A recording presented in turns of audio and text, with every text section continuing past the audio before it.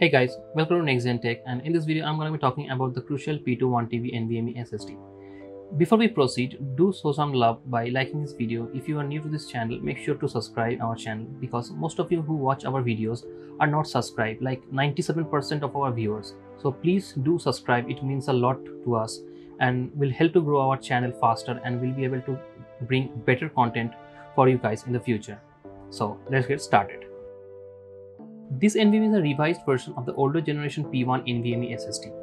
This crucial P2 comes in a 4 storage variant, a 250GB, a 500GB, a 1TB and a 2TB and each of them have varying read-write speed.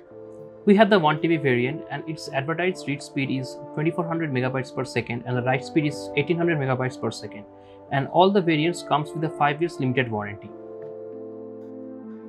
You can get this NVMe the 1TB variant at a price of 8000 to 8500 on Amazon and during sale you can get this for much cheaper price.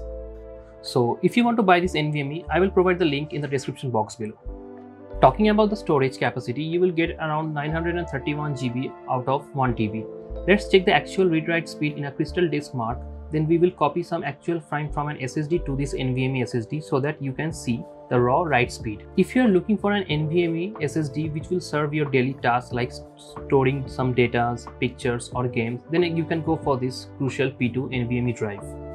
Those who are looking for storing their games on this NVMe, we have done some load times of some heavy games just in case if you are wondering. As I said before, if you want an NVMe for day-to-day -day users, then you can go for this crucial P2 NVMe and if you're looking for some heavy work like lots of editing or file transfer every day then i will recommend it to go for a crucial p5 or p5 plus variant as they are more capable for more heavy users.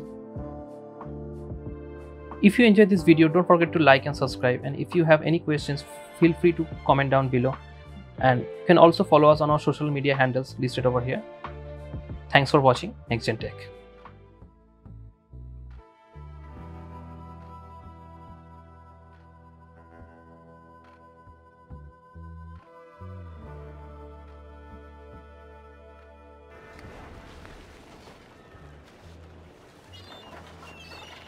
Bonjour.